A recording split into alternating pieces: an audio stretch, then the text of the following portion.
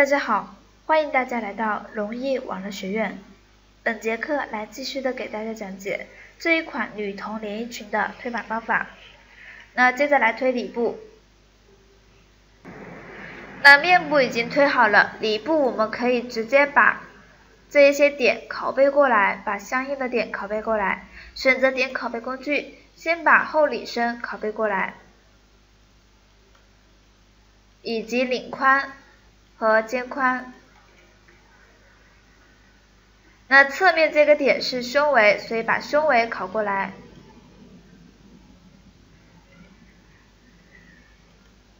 以及下面的胸围，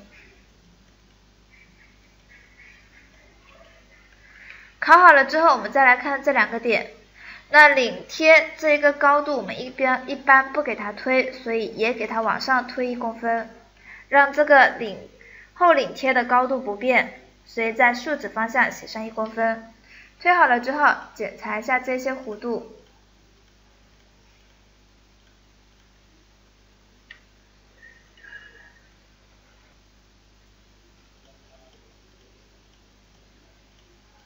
那这弧度都可以。这样子呢，上半身的里部就推好了。推好了之后，再来推下摆。那下摆的话，里部的下摆跟面部的下摆弧度没有这么大，所以呢，我们推法就要修改一下。首先，先把后中推码量复制过来，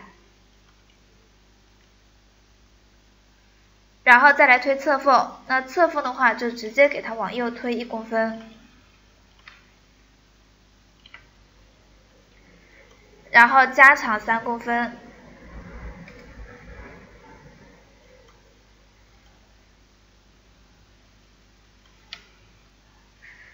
接着再选择要素平行焦点工具，框选侧缝下摆的点，然后在左键单击侧缝，左键单击下摆，把侧缝给它调顺。调好了之后，先检查一下腰节之间的长度，然后再测量一下下摆。那下摆总共是推了二点七三，这边量还有点不够，所以我们再给它调整一点。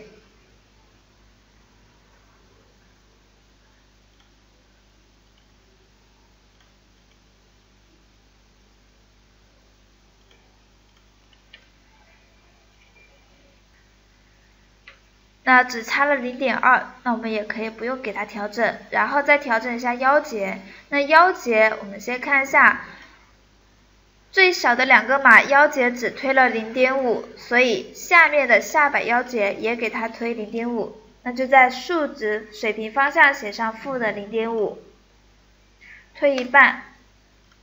推好了之后，再来检查一下长度，那这样子的长度就一致了。接着来推前片，那前片的下摆跟后片形状是差不多的，所以可以直接拷贝过来。选择左右对称，把侧缝拷贝过来，以及下摆。推好了之后，再来推前片上半身的里部。那前片上半身的里部，我们可以也拷贝过来。先把领宽拷贝过来。那前片因为。前片因为它是左右一样的，所以这边呢直接写完全相同，然后再拷贝，以及领身和肩宽。那侧面这是胸围，所以把胸围拷过来，以及下面分割片的胸围和下摆。那下摆注意这边不太一样，所以呢，我们先拷贝过来，再修改一下。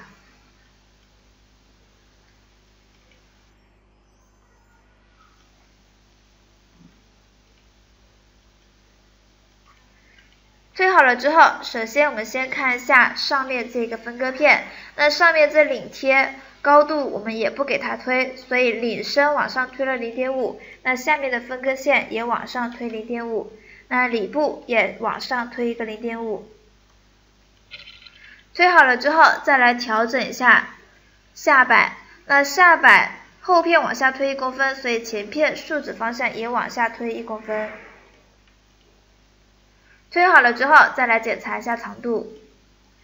测量一下前后分割片的长度，以及下摆、后片的腰节、后片的分割线和肩缝。那这样子长度都一致，那就可以了。调好了之后，我们最后再来调整一下肩缝。那肩缝推出来一般要让它平行，所以选择距离平行点工具，框选肩宽，在左键单击一下肩斜，再点确定，把肩斜调平。前片也同样的调整一下，以及里布和前片的里布。